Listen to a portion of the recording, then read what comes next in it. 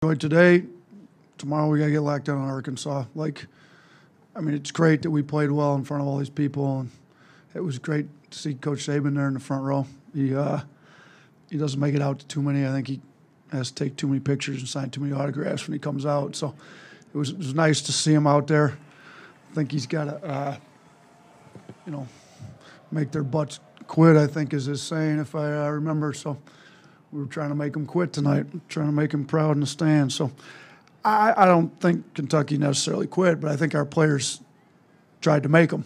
So that's what we were uh, we were trying to do. Take take a little. Uh, and I think the students did a great job. We don't have quarters like football, but they did a pretty good job staying through the uh, fourth quarter today. So I'm sure he was happy with that one too. Enjoyed today.